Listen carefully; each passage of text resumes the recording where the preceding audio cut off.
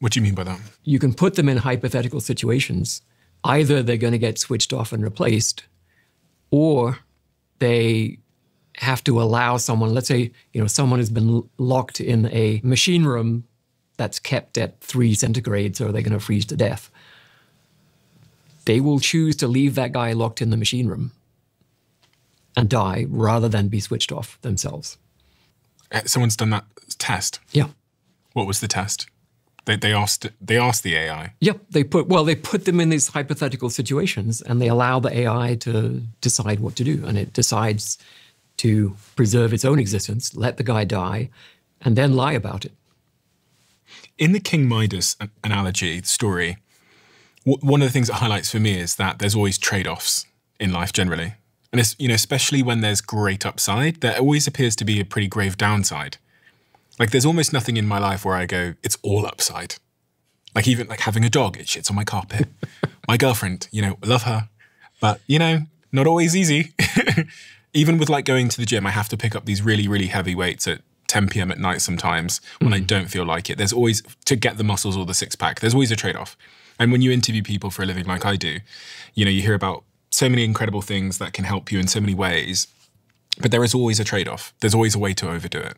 Melatonin will help you sleep, but it also you'll wake up groggy and uh, if you ever do it, your brain might stop making melatonin. Like I can go through the entire list, and one of the things I've always come to learn from doing this podcast is whenever someone promises me a huge upside for something, it'll cure cancer, it'll be a utopia, you'll never have to work, you'll have a butler around your house. I, my, my first instinct now is to say, at what cost? Yeah. And when I think about the economic cost here, if we start if we start there, have you got kids? I have four, yeah. Four kids.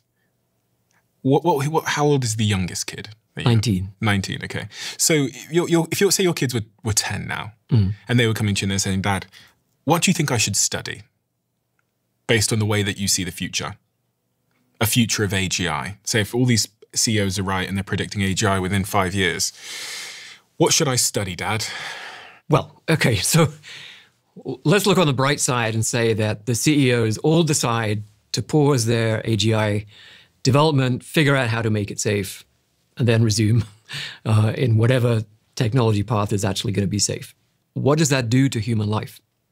If they pause. No, if if they succeed in creating AGI Okay. and they solve the safety problem, And they solve the safety and they problem. solve it. So okay. yeah, because if they don't solve the safety problem, then you know you should probably be finding a bunker or going to Patagonia or somewhere in New Zealand. Do you mean that? Do you think I should be finding a bunker? If No, because it's not actually going to help. Uh, you know, it's, it's it's not as if the AI system couldn't find you. Or I mean, it, it's interesting. So we're going off on a little bit of a digression here for, from your question, but I'll come back to it.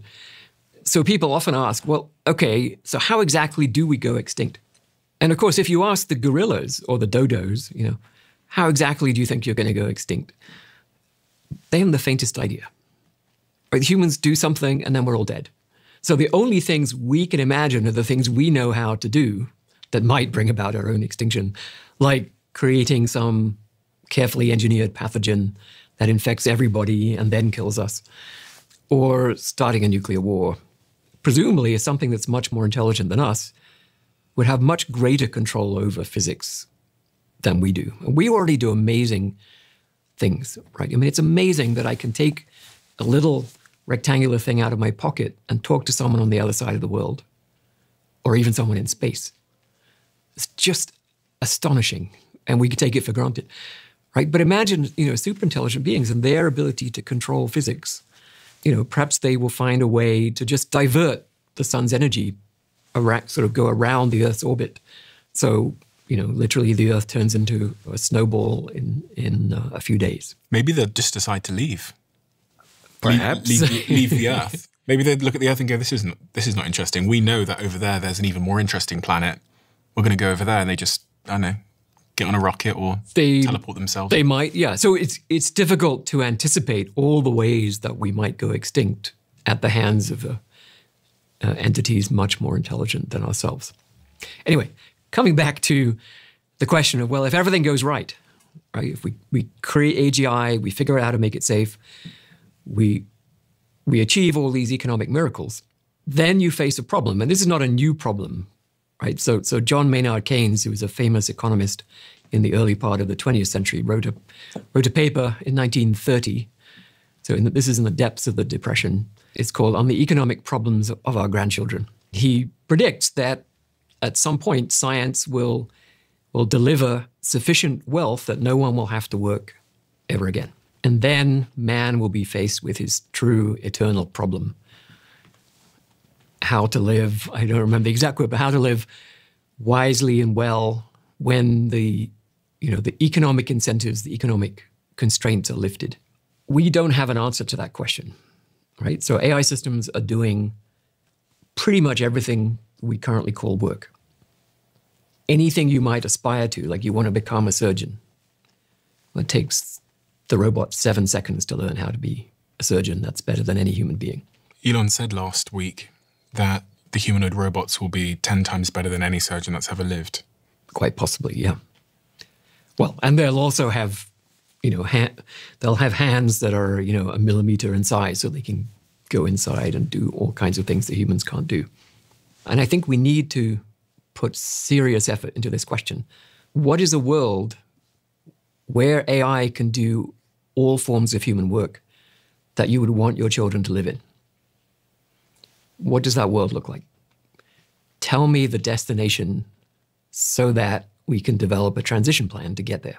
And I've asked AI researchers, economists, science fiction writers, futurists. No one has been able to describe that world. I'm not saying it's not possible, I'm just saying I've asked hundreds of people in multiple workshops. It does not, as far as I know, exist in science fiction you know, it's notoriously difficult to write about a utopia. It's very hard to have a plot, right? Nothing bad happens in, in utopia, so it's difficult to make a plot. So usually you start out with a utopia and then it all falls apart, and that's how, that's how you get, get a plot. You know, the, there's one series of novels people point to where humans and super intelligent AI systems coexist. It's called the Culture Novels by Iain Banks highly recommended for those people who like science fiction. And, and there, absolutely, the AI systems are only concerned with furthering human interests. They find humans a bit boring, and, but nonetheless, they, they are there to help. But the problem is, you know, in that world, there's still nothing to do. To find purpose, in fact, the, you know, the, the subgroup of humanity that has purpose is the subgroup whose job it is to expand the boundaries of our galactic civilization, some cases fighting wars against alien species and, and so on, right? So that's the sort of cutting edge. And that's 0.001% of the population. Everyone else is desperately trying to get into that group so they have some purpose in life. When I speak to very successful billionaires privately, off camera, off microphone, about this, they say to me that they're investing really heavily in entertainment, things like football clubs, um, because people are going to have so much free time that they're not going to know what to do with it and they're going to need things to spend it on. This is what I hear a lot.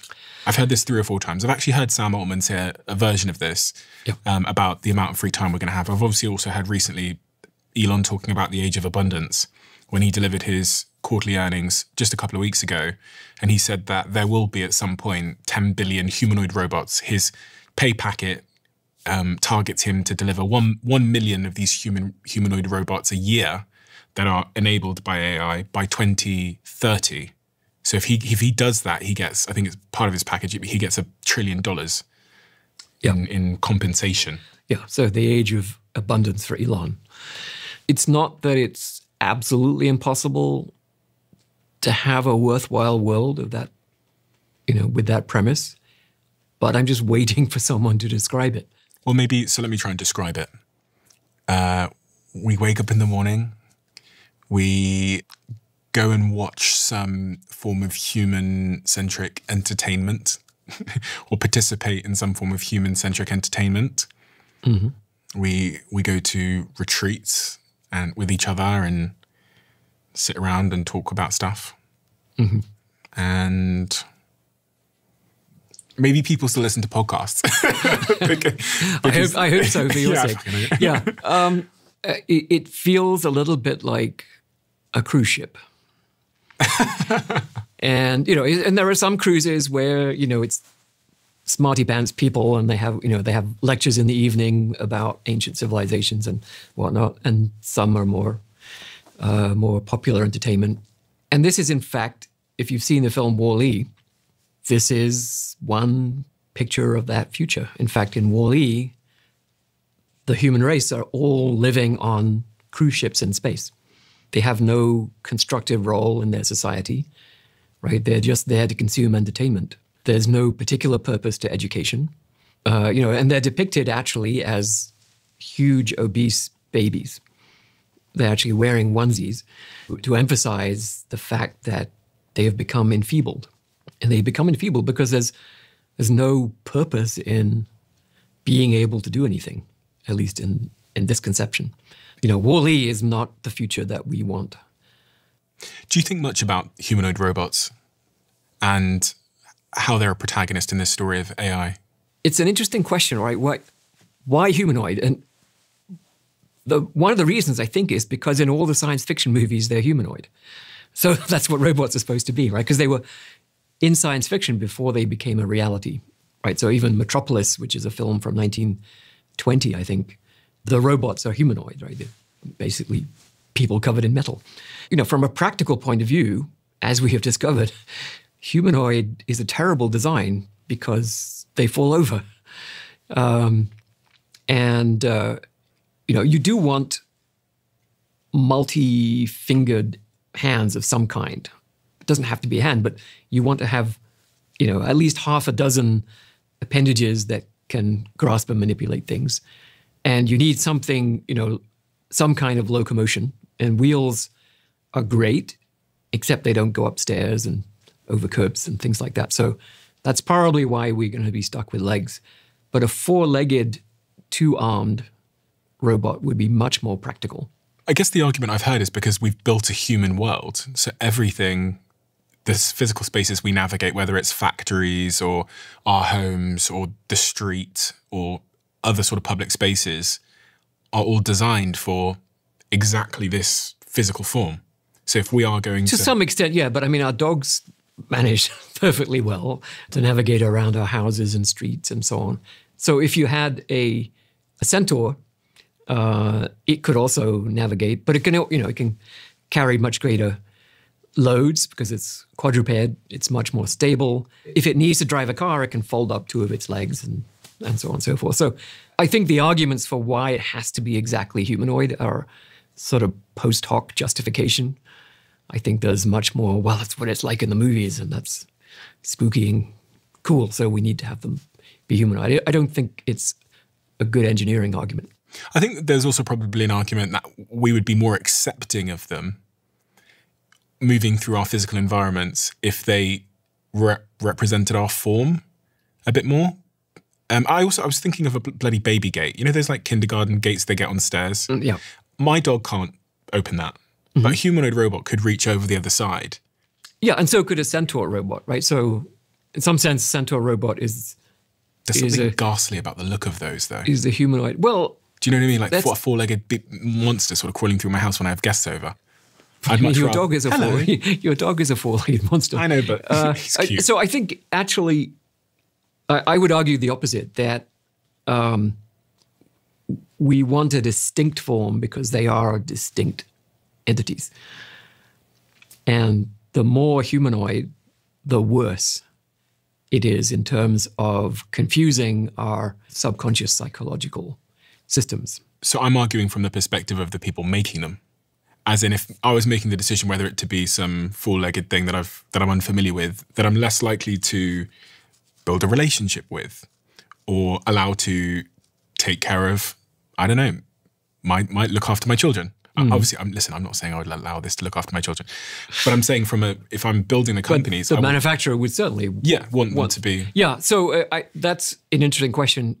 I mean, there's also what's called the uncanny valley, which is a a phrase from computer graphics when they started to make characters in computer graphics, tr- they tried to make them look more human, right? So if you, if you, for example, if you look at Toy Story, they're not very human looking, right? If you look at The Incredibles, they're not very human looking, and so we think of them as cartoon characters. If you try to make them more human, they actually become repulsive until they don't. Until they become very, you have to be very, very close to perfect in order not to be repulsive. So the, the uncanny valley is this, you know, like the, the gap between, you know, so perfectly human and not at all human, but in between, it's really awful. And, uh, and so they, there were a couple of movies that tried, like Polar Express was one, where they tried to have quite human looking characters, you know, being humans, not not being superheroes or anything else, and it's repulsive to watch.